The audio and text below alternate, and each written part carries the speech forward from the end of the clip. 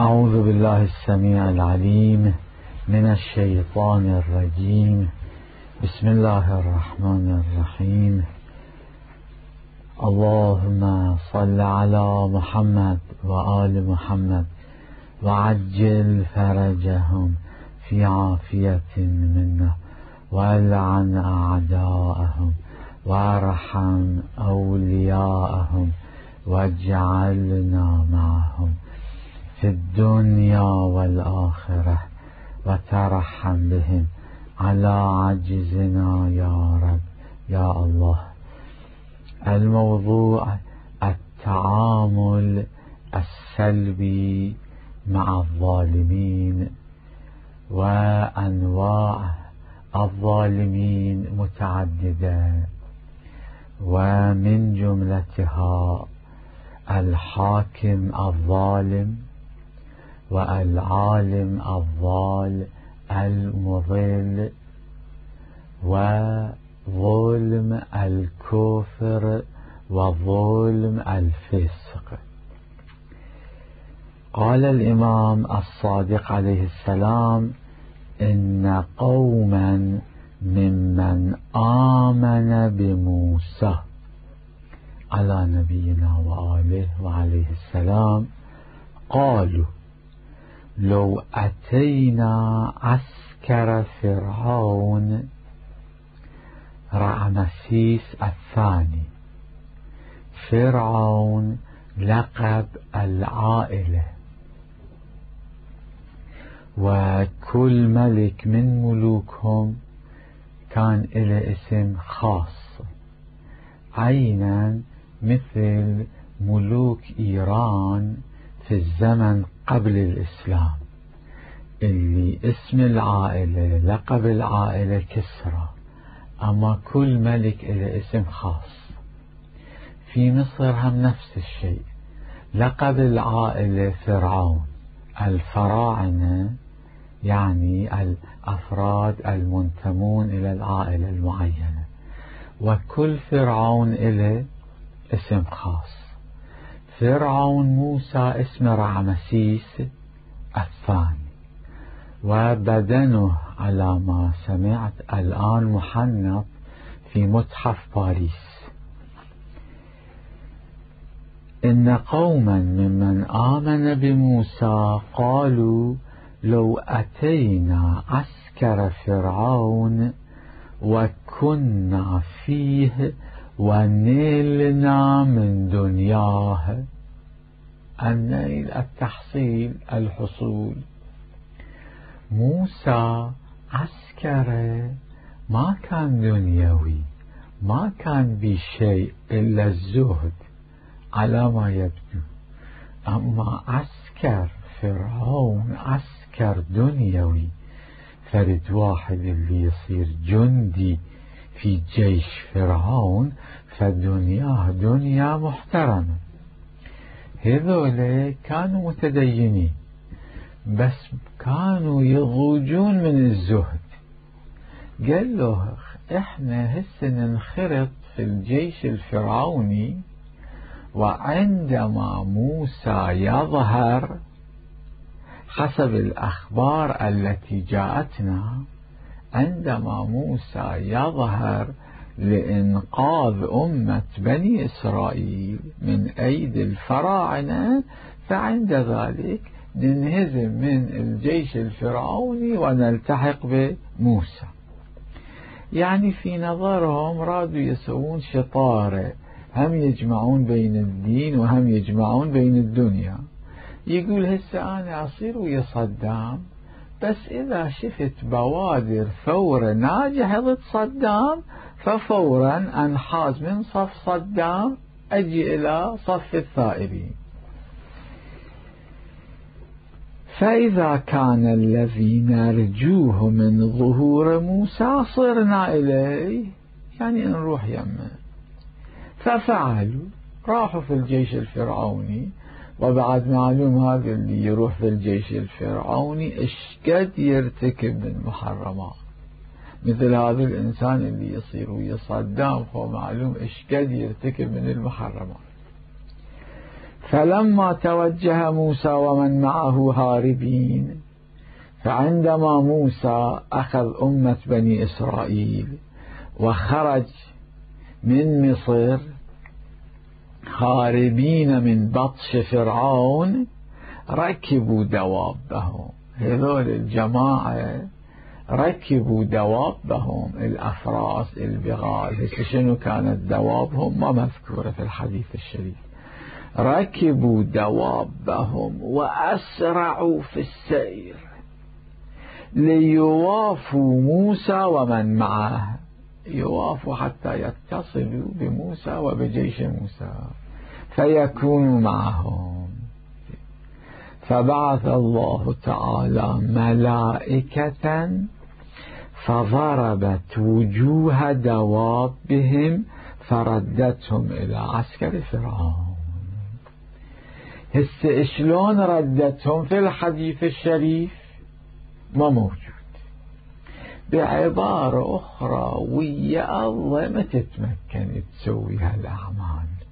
لازم يكون لك خط واحد ما يصير يكون لك خطين أو أكثر. فكانوا في من غرق مع فرعون. هذول إجوا في عسكر فرعون وفرعون هم بكل عسكره وهم مليون على ما ببالي. راحوا وراء موسى وأمة بني إسرائيل حتى يأخذوهم ويردوهم إلى مصر وصارت عملية الغرق المشهورة المذكورة في القرآن الكريم والحديث الشريف. هسه في هالعصر هم نفس الشيء في العصور القادمة هم نفس الشيء. لازم يكون لك خط واحد ما يصير يكون لك أكثر من خط. وإلا الله يتدخل في القضية بالمعجزة. بالأمر الغيبي الله يتدخل في القضية ما يخلي. قال الإمام الصادق عليه السلام إن قوما ممن آمن بموسى على نبينا وآله وعليه السلام قالوا لو أتينا عسكر فرعون وكنا فيه ونلنا من دنياه. فإذا كان الذي نرجوه من ظهور موسى صرنا إليه. ففعلوا. فلما توجه موسى ومن معه هاربين ركبوا دوابهم وأسرعوا في السير ليوافوا موسى ومن معه. فيكونوا معهم فبعث الله تعالى ملائكة فضربت وجوه دوابهم فردتهم إلى عسكر فرعون فكانوا في من غرق مع فرعون قال رسول الله صلى الله عليه وآله شر البقاع دور الأمراء الذين لا يقضون بالحق. شوفوا البقاع جمع البقعة أي المكان المعين. الكرة الأرضية تشتمل على البقاع وهذا واضح. والبقاع على ثلاثة أقسام بقعة خيرة مثل أرض كربلاء المقدسة أرض مكة المكرمة. وبقعة عادية لا خيرة ولا شريرة وبقعة شريرة. دار الحاكم الظالم بقعة شريرة. دار الحاكم الظالم بقعة شريرة. دار المخمر بقعة شريرة. دار المبغى بقعة شريرة.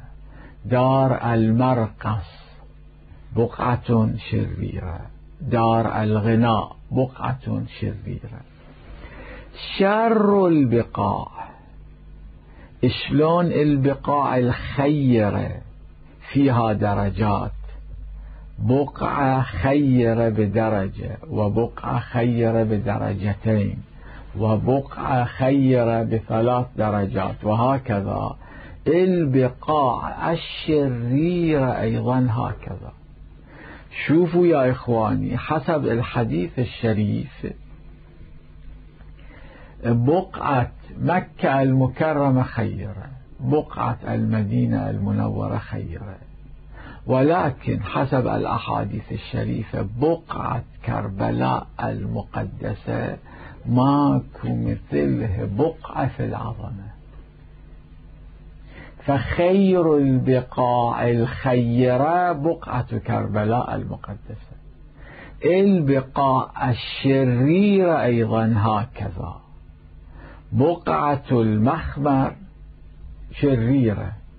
أما شر البقاع دار الحاكم الظالم. يعني كودا هذه دار الحاكم الظالم فهذه البقعة أكثر شرا من البقعة التي بنيت عليها مخمرة أو مبغى أو مرقص أو دار غناء وما أشبه. شر البقاع دور الأمراء الذين لا يقضون بالحق الذين لا يحكمون بالحق. طبعا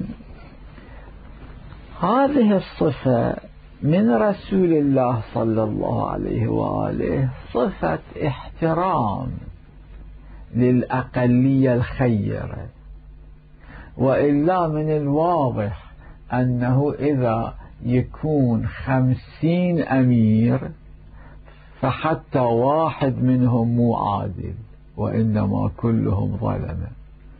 إذا يكون ألف أمير حتى واحد منهم مو عادل كلهم ظلمة. إذا يكون مليون أمير فواحد منهم مو عادل كلهم ظلمة. ولكن في التاريخ أكو استثناءات نادرة اللي من شدة ندرتها يحق لنا أن نقول استثناءات شاذة. يعني قليلة قليلة قليلة جدا. اللي لا تقول نادر قول شاذ.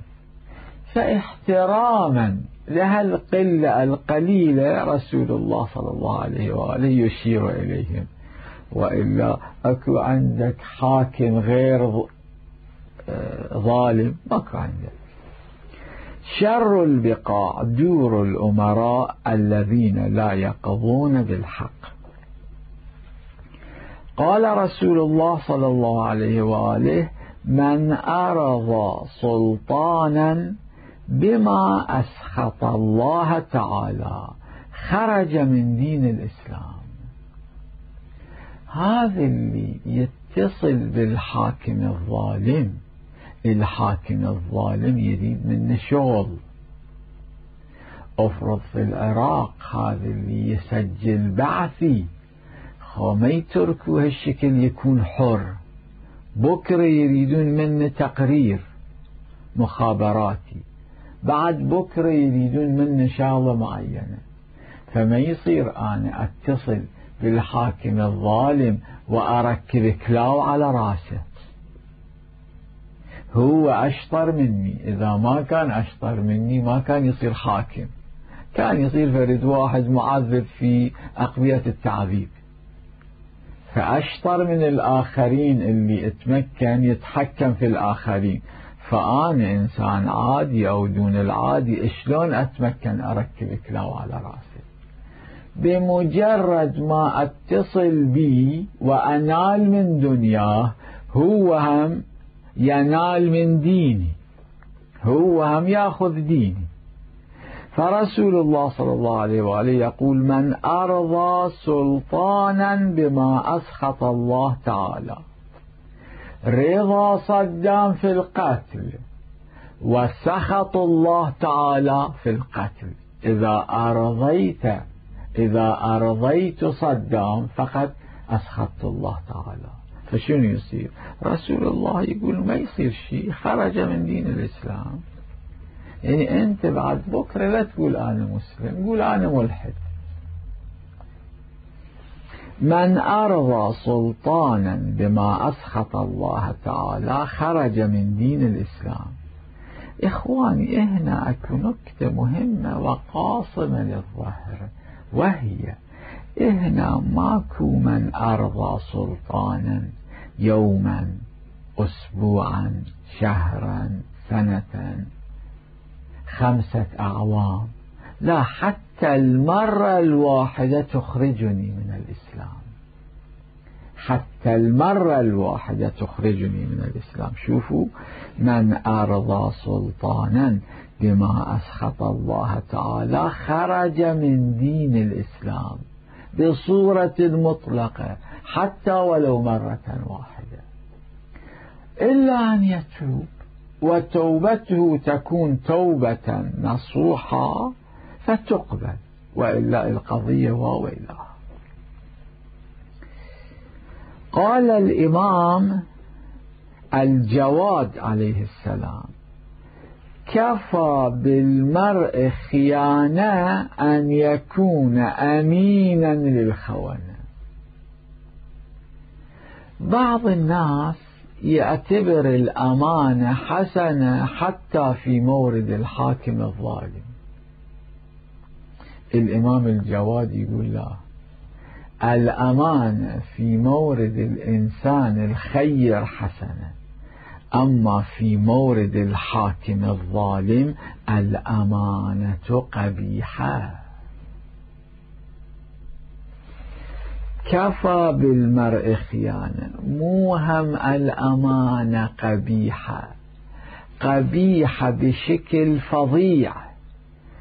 كفى بالمرء خيانة أن يكون أمينا للخونة. يقول أنا كنت محاسب صدام عشر سنوات ولم أخنه حتى في قضية صغيرة. كلامك صحيح بالنسبة إلى صدام ولكن في طول عشر سنوات خنت الله تعالى وخنت الأمة الإسلامية وخنت الوطن. لأن الأمانة مع الخائن زيادة في الخيانة. فأنت كل حياتك مع صدام كنت خائن كفى بالمرء خيانة أن يكون أمينا للخونة.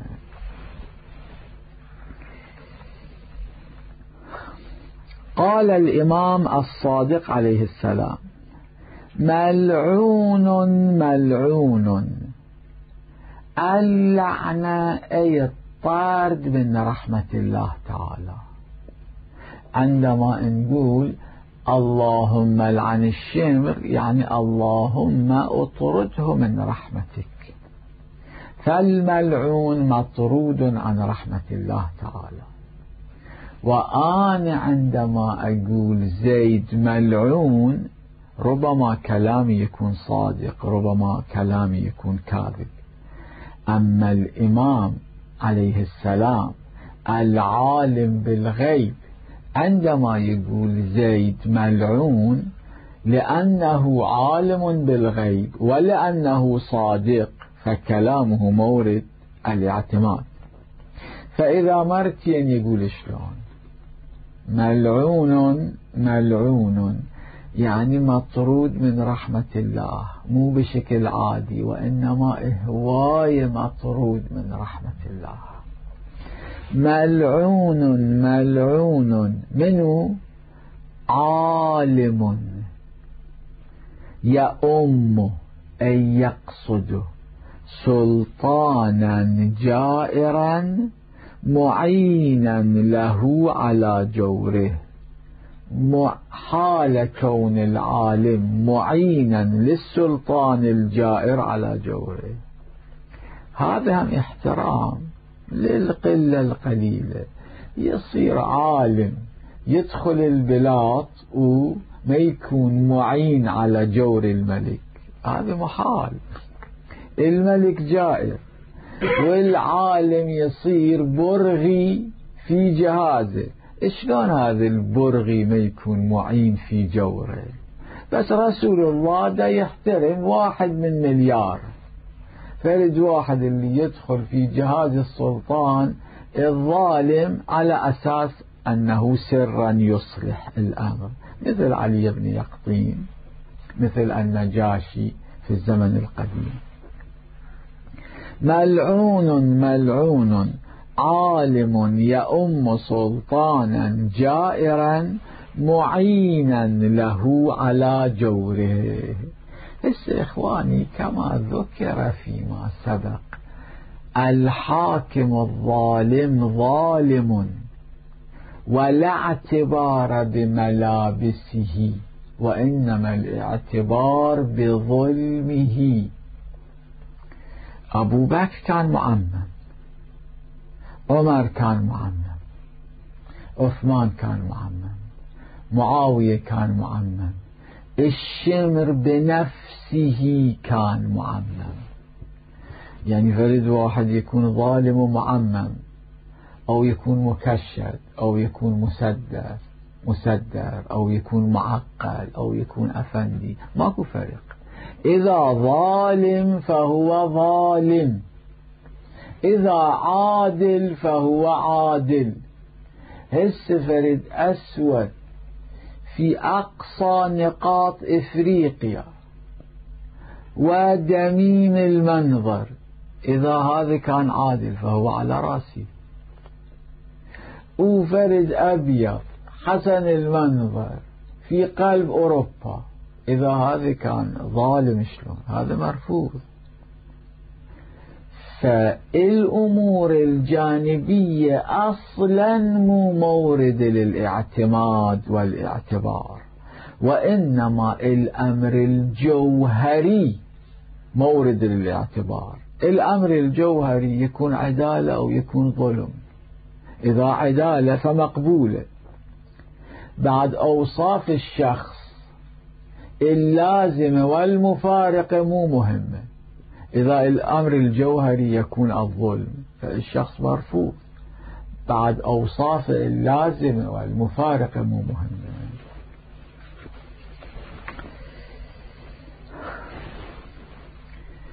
قال رسول الله صلى الله عليه وآله عفوا قال الإمام الحسين عليه السلام الحديث هواية قوي. لا تصفن لملك دواء.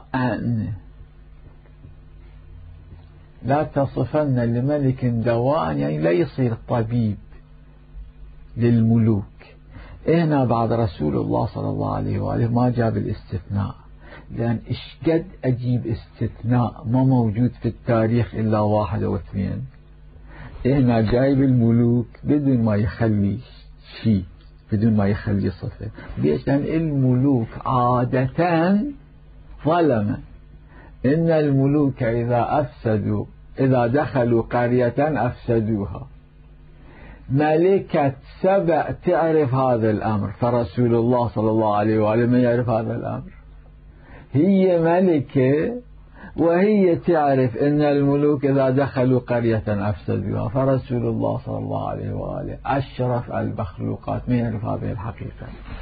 لا تصفن لملك دواء. خلص يعني لا تصير بناء الملك لا تصير نجار الملك لا تصير حداد الملك حتى لا تصير طبيب الملك. لا تقول هذه إنسانية أريد أنقذ حياته من الموت أو أنقذ آه، بدنه من المرض. لا هذا خيانة. الإنسانية في مورد الذيب مو إنسانية وحشية هذه. الإنسانية في مورد الإنسان الطيب إنسانية. لا تصفن لملك دواء. يعني أصلا أنت لا تدنو من الملوك لا تسوي لهم أي شيء لأن أي شيء تسوي لهم فهذه بطريقة مباشرة أو غير مباشرة عون لهم على ظلمهم. زين. هسه شلون الإمام الحسين عليه السلام يجيب الدليل؟ ما يقول لأن الله تعالى لا يرضى. لأن أنا عادة أقول خلي أنا أحصل على الدنيا هسه الله رضا وما رضا. إذا على لساني ما أقول هذا الشيء ففي باطني أقول. أقول يابا إذا صرت نجار الملك يعطيني فرد فلوس اللي ما أحصلها إذا صرت نجار الفقراء. في الحي الفقير من المدينة الفقيرة. يابا الله يقول لا. هو إذا مو على لسانه في باطنه يقول خلي الله يقول لا. خلي الله يغنيني أنا ما أروح على الملك. أما الله ماذا يغنيني؟ أنا أروح على باب الملك. فالإمام الحسين يجي الناس من طريقهم. خو ليش ما أصير طبيب الملك؟ فإن نفعه لم يحمدك. إذا الدواء نفع الملك الملك ما يقول لك شكرا. الملك يعتبر نفسه ملك ويعتبر كل الشعب عبيد وإماء له فإذا الطبيب خدمه ونجاه من الموت أو من المرض ما يقول شكرا. أبدا كأنه إلى حق. فإن نفعه فإن نفع الملك دواؤك هذا لم يحمدك ما يمدحك.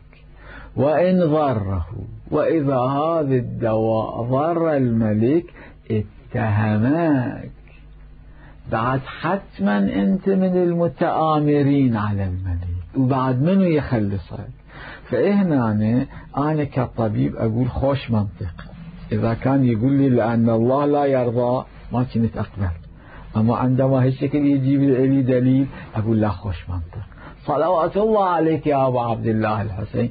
أنا بعد ما أصير طبيب الملك أصلا أترك بغداد أروح للبصرة حتى الملك ما يدز علي عندما يصير ملك قال الإمام الحسين عليه السلام لا تصفن لملك دواء فإن نفعه لم يحمدك وإن ضره اتهمك. إخواني في بالي حديث شريف مو بالنص بالمضمون. الحديث الشريف هواية قوي. يقول حتى لا تبني للظلم مسجدا. صدام يريد يبني مسجد في بغداد والمسجد بيت من بيوت الله تعالى. يدز وراك أنت كمعمار كمهندس كبناء فأنت لا تبني المسجد. والشيطان لا يغرك لا يقول هذا خمو قصر لصدام هذا بيت لله تعالى. أنت لا تسوي أنت لا تسوي. لأن هو يستفاد من بيته في سبيل الظلم. قال أمير المؤمنين عليه السلام أوحى الله تعالى جلت قدرته إلى شعيب على نبينا وآله وعليه السلام. إني مهلك من قومك مائة ألف. أنا راح أهلك من قومك مئة ألف. أربعين ألفا من شرارهم. وستين ألفا من خيارهم. الأخيار أكثرية الأشرار أقلية. الأخيار ستون ألف والأشرار أربعون ألف. فقال عليه السلام هؤلاء الأشرار يعني هذول الأشرار خذ تهلكهم إلك حق. فما بال الأخيار الأخيار شبيهم حتى تهلكهم. فقال الله تبارك وتعالى. داهنوا لا ينوء داهنوا أهل المعاصي فلم يغضبوا لغضبي. أربعين ألف كانوا يرتكبون المعاصي وأنا كنت أغضب عليهم. ستين ألف من الأخيار. وكانوا يتمكنون من الأمر بالمعروف والنهي عن المنكر. فلم يغضبوا لغضبي ولم يقوموا بواجبهم. فأصبحوا أشرارا بالنتيجة. وإن كانوا أخيارا في الظاهر فهم أيضا يستحقون الهلاك. قال أمير المؤمنين عليه السلام أوحى الله تعالى جلت قدرته إلى شعيب على نبينا وآله وعليه السلام إني مهلك من قومك مائة ألف أربعين ألفا من شرارهم وستين ألفا من خيارهم. فقال عليه السلام هؤلاء الأشرار فما بال الأخيار؟ فقال عز وجل داهنوا أهل المعاصي فلم يغضبوا لغضبي. إخواني شوفوا إهنا أكو نكتة. الأخيار مو أربعين ألف والأشرار ستين ألف حتى يكون إلهم عذر ولو غير وجيه. يقولون إحنا كنا في أقلية شلون نتمكن نتغلب على الأكثرية. وهنا نكتة أخرى. الأخيار بالنسبة للأشرار مو خمسين خمسين. حتى يكون لهم عذر ولو غير وجيه. يقولون خو إحنا كنا بمقدارهم فشلون فلد واحد يتغلب على مثله؟ لا الأخيار هنا أكثرية. وأكثرية ساحقة. يعني مو واحد وأربعين ألف لا ستين ألف مقابل أربعين ألف. فما لهم عذر حتى غير وجيه.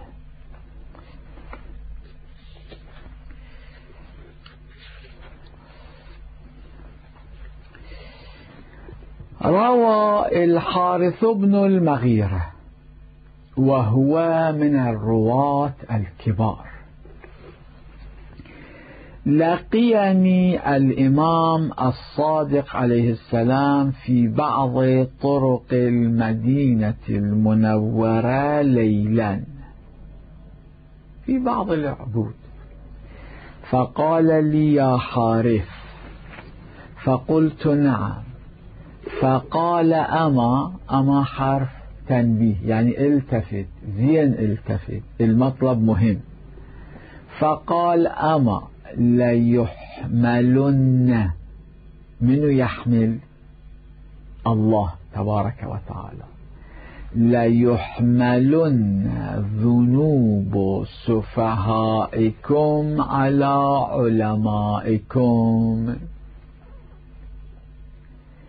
الإنسان اللي آه، يعمل بالإسلام هذا يعتبر حكيما. أن يضع الشيء في موضعه.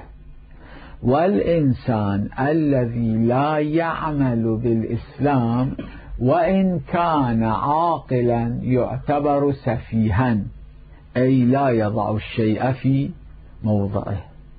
السفيه يعني الذي لا يعمل بالإسلام. الإمام يقول يوم القيامة كل ما هذول السفهاء تكون لهم ذنوب الله يخلي الذنوب في صحائف أعمال العلماء. العلماء يعترضون أنه إحنا ما سوينا هالذنوب. ليش هالذنوب تسربت إلى صحائف أعمالنا؟ فشوفوا الجواب. أما ليحملن ذنوب سفهائكم على علمائكم. ثم مضى. الإمام الصادق ما شرح القضية وراح. وهنا أكو نكتة مهمة. إذا القضية مهمة وتبينها بشكل عادي السامع المخاطب ما يعرف الأهمية. ليش؟ لأن يشوف هذا بين القضية بشكل عادي. إذا مثلا حية تدخل الغرفة أنا أقول يا ابني حية دخلت الغرفة. الابن ما يعتني. لأن يشوف الكلام هو بارد فكأنه القضية باردة. أما إذا أصيح عليه أصيح مو أتكلم بلساني فقط وإنما أتكلم بكل حركات بدني. الإبن يعرف القضية كما هي. عادة التخاطب بين أفراد البشر هالشكل. إذا الأمر مهم لازم تبين بشكل مهم. إذا الأمر مو مهم خو بين بشكل عادي. الإمام الصادق عليه السلام شاف الحارث ليلا في بعض طرق المدينة الطراس الخيط. يا سيدي يا مولاي خو بين إلي السبب وإلا أنا أروح على داري فكل الليل. أبقى سهران أفكر في القضية. الإمام الصادق عليه السلام يقول أريدك تكون سهران تفكر في القضية حتى تهتم بالقضية وإلا ما تهتم. ثم مضى. قال هذا الأمر ثم مضى. ثم أتيته بكرة.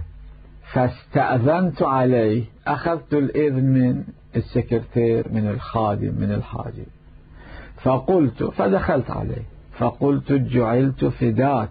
لما قلت ليحملن ذنوب سفهائكم على علمائكم؟ فقد دخلني من ذلك أمر عظيم. استولى علي قلق طول الليل. ما أدري شنو أنا قاتل لي نفس وما أعرف. أنا زاني وما أعرف. أنا غاصب دار أحد وما أعرف. أنا بقيت طول ليلي سهران. طيب القضية شنو؟ فقد دخلني من ذلك يعني من كلامك أمر عظيم. فقال لي نعم أنا أريدك تبقى سهران. ما يمنعكم إذا بلغكم عن الرجل منكم ما تكرهونه. يعني إذا وصل من رجل شيعي إلكم خبر تكرهون ذلك الخبر. مما يدخل به علينا الأذى والعيب عند الناس. خبر اللي بسببه إحنا نتأذى. وبسببه الناس يعيبوننا. ما يمنعكم إذا فرد واحد من أصحابكم سوى فرد شيء. الشكل أن تأتوه أن تزوروه فتؤنبوه توبخوه وتعظوه وتقولون له قولا بليغا. ليش؟ بتنهون عن المنكر. ذاك ما يعرف الإسلام فيرتكب المنكرات. أنتوا اللي تعرفون الإسلام ليش ما تمنعوا عن المنكرات؟ هنا أكو نكتة. قولا بليغا. البليغ على وزن فعيل. وفعيل قد يأتي بمعنى المفعول قتيل الطف أي مقتول الطف عن الإمام الحسين. وقد يأتي بمعنى الفاعل نصير الإسلام الأول أي ناصر الإسلام الأول عن أمير المؤمنين عليه السلام. هنا القول البليغ البليغ هنا بمعنى البالغ الذي يبلغ. يعني مو تنهاه عن المنكر بكلام لا يدخل إلا في أذنه فقط. وإنما إن انهي عن المنكر بكلام يبلغ إلى أعماق قلبه. استعمل وياه أسلوب اللي يبلغ إلى أعماق قلبه. أنا أسألكم سؤال مع احترامي لأسلوب الخطباء مطلب معين الخطيب يبين فوق المنبر بأسلوبه. نفس المطلب المعين مخرج الفيلم يبين بأسلوب الفيلم. أيهما أبلغ؟ الفيلم أبلغ من المنبر. فالأسلوب البليغ أي الأسلوب البالغ إلى أعماق الشخص. دققوا النظر النكتة مهمة. يعني هذا اللي عليه أن ينهى عن المنكر ما يصير يقتنع بالنهي بسيط. ويقول التكليف سقط عني. الله تعالى قال لي انهى عن المنكر وأنا نهيت عن المنكر والتكليف سقط. لا لازم تفهم الشخص.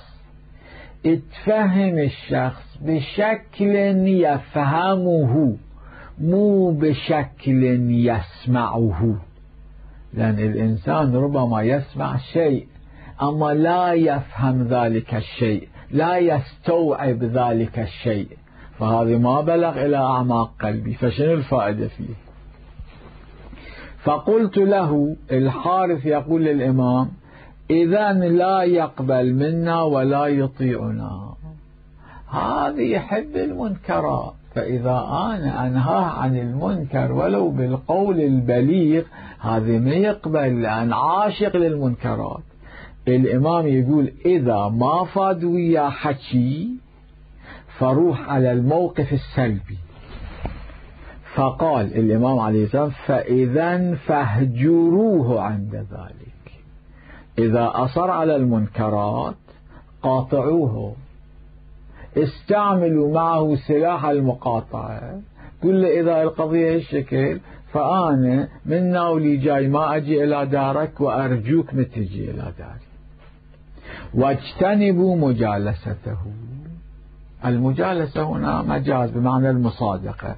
يعني من ناولي جاي لا تصير صديق إليه حتى بهذه المقاطعة تضغط عليه فينتهي عن المنكرات. إخواني هنا أكو نكتة مهمة. والنكتة مو من عندي من العلماء الكبار وهي أن السلاح المقاطعة مو سلاح مطلقة وفي جميع الأزمنة والأمكنة والأفراد والظروف. فرد واحد اللي يفعل المنكرات إذا اتقاطع فالسلاح المقاطعة ناجح وياه. فرد واحد إذا يفعل المنكرات إذا اتقاطع فيتولد عنده عناد. فيفعل منكرات أكثر وبإصرار أشد. فهنا آه، سلاح المقاطعة ما يكون له دور. لازم تتحبب إليه تستعمل معه سلاح المصادقة الأشد. حتى عن طريق المصادقة الأشد تضغط عليه أدبيا فهو يجي للطريق. إنسان ثالث سلاح المقاطعة مؤثر فيه وسلاح المصادقة أيضا مؤثر فيه. فأنت شوف اختار أي الطريقين. لأن أنت بالخيار. أمامك واجب مخير وأنت لازم تختار أحد الشيئين. فهذه مسألة هواية مهمة. شوفوا الله تبارك وتعالى على ما يظهر من بعض الأدعية. ربما يؤدب بالعقاب وربما يؤدب بالجود. إلهي لا تؤدبني بعقوبتك. من هذا نفهم أنه الله عندهم أسلوب في التأديب بغير العقوبة بالكرم بالكرم. حتى البشر العاديين اللي هم مو الله تبارك وتعالى. هذول هم يستعملون أسلوبين. يعني ربما فرد واحد من أتباعه يصدر من ذنب فيعاقبه ربما فرد واحد من أتباعه يصدر من ذنب فيجود عليه أكثر. فذاك الإنسان يخجل. أنه أنا أسأت فأحسن إلي أكثر فهذا شلون يصير؟ فينقلع عن الإساءة روى الحارث بن المغيرة قال لقيني الإمام الصادق عليه السلام في بعض طرق المدينة المنورة ليلا فقال لي يا حارث فقلت نعم فقال أما ليحملن ذنوب سفهائكم على علمائكم. ثم مضى. ثم أتيته فاستأذنت عليه. فقلت جعلت فداك. لما قلت ليحملن ذنوب سفهائكم على علمائكم؟ فقد دخلني من ذلك أمر عظيم. فقال لي نعم. ما يمنعكم إذا بلغكم عن الرجل منكم ما تكرهونه؟ مما يدخل به علينا الأذى والعيب عند الناس.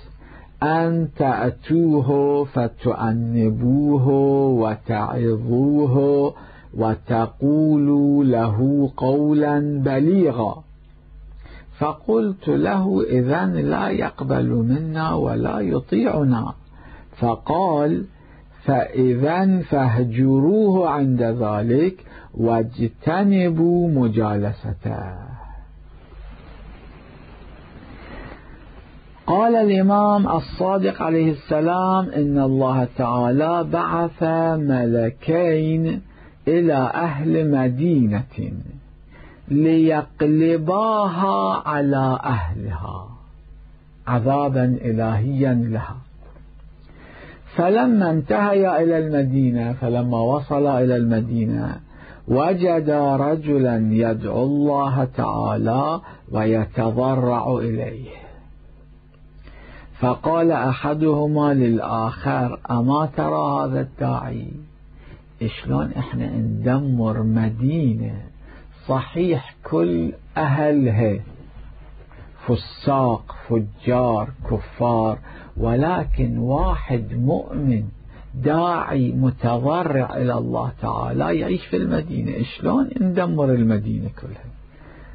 أما ترى هذا الداعي؟ فقال الثاني قد رأيته ولكن أمضي لما أمرني به ربي. الله عند علم الغيب.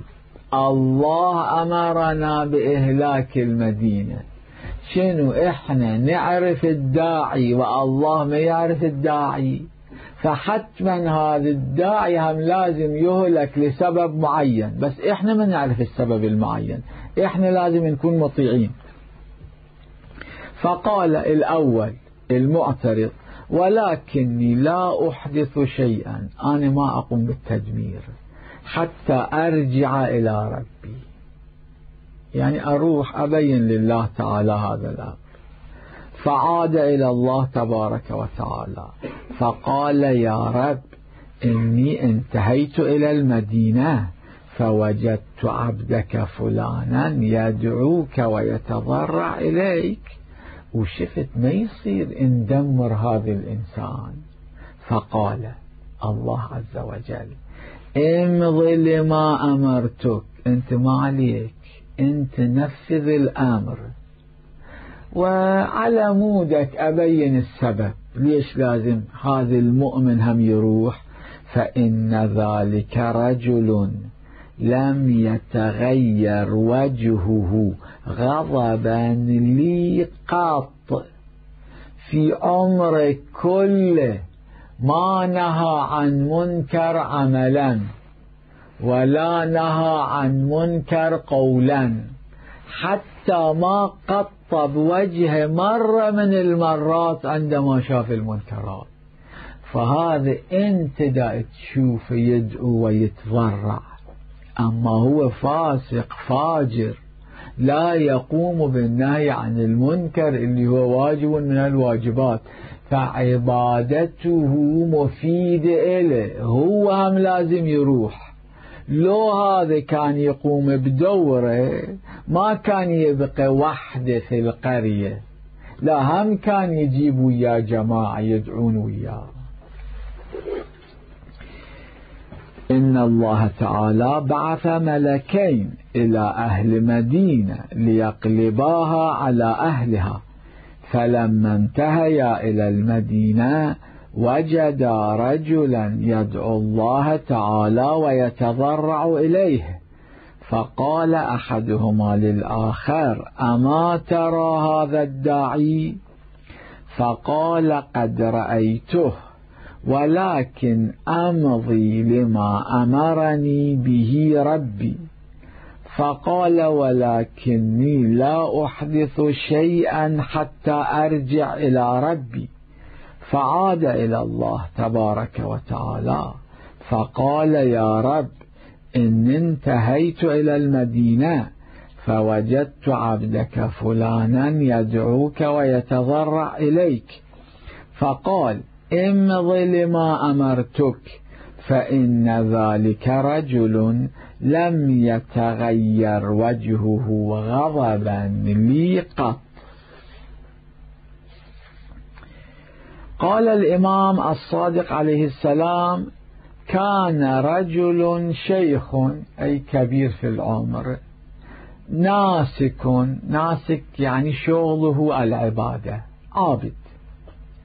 يعبد الله تعالى في بني إسرائيل. فبين هو يصلي وهو في عبادته إذ بصر يعني رأى بغلامين صبيين إذ أخذا ديكا وهما ينتفان ريشه يقلعان ريشه وهو حي يعني عملية تعذيب. للحيوان.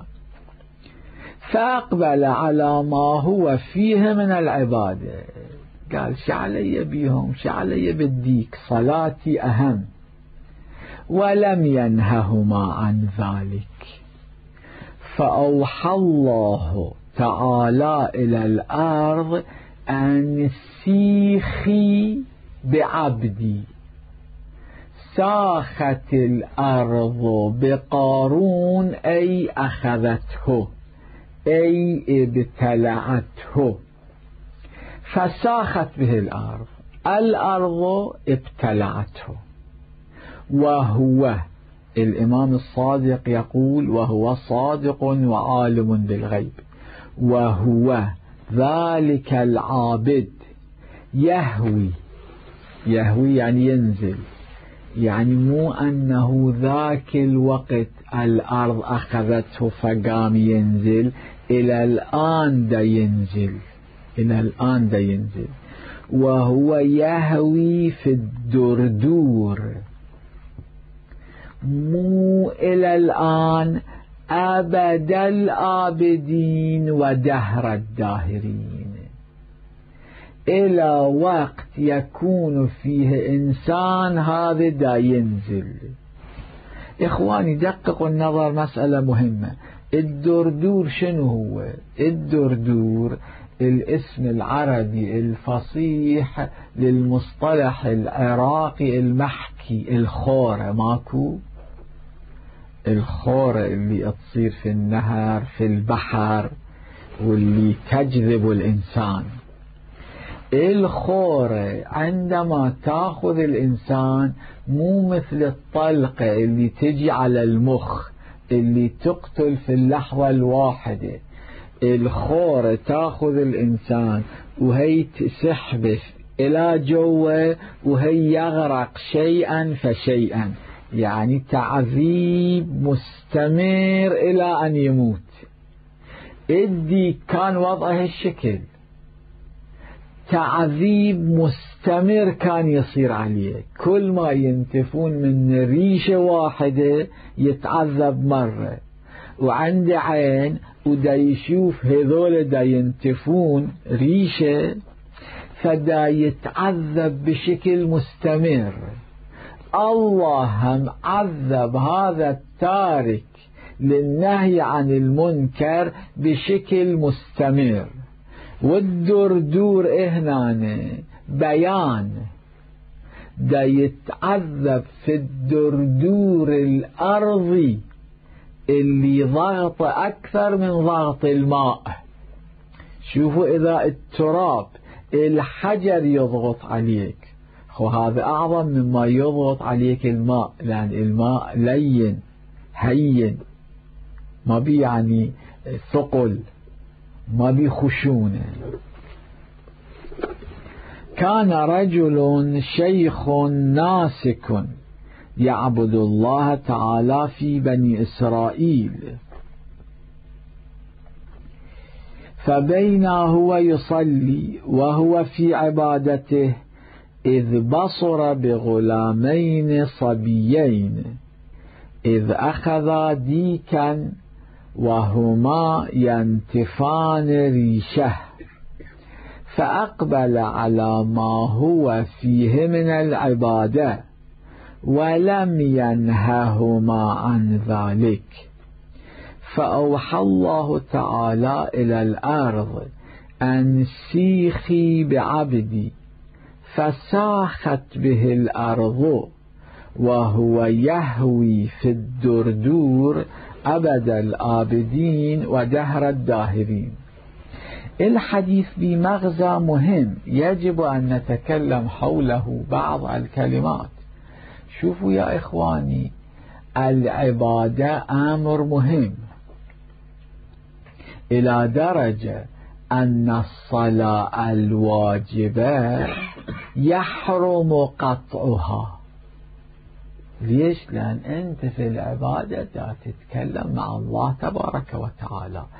شلون تقطع كلامك مع الله تبارك وتعالى لأمر آخر؟ أما الحديث الشريف شنو يقول؟ يقول النهي عن المنكر أعظم من العبادة. أنت في الصلاة وأنت دا تتكلم مع الله تبارك وتعالى إذا شفت أمامك منكر يفعل يعمل به فأنت بإرادة الله تعالى بأمر الله تعالى بحب الله تعالى كودا أن الله يقول لك اقطع العبادة أنت لازم تقطع العبادة وتروح تنهى عن المنكر وصلى الله على سيدنا محمد وآله الطاهرين اللهم صل على محمد وآل محمد. سلمكم الله. سلمكم الله. سلمكم الله جميعا. سلمكم. أبا بكر. أو ينبغي له أن يحب أبا بكر لأن أبا بكر أحسن إليه. أما كان في المستوى أصلا ما يعتنى بأبي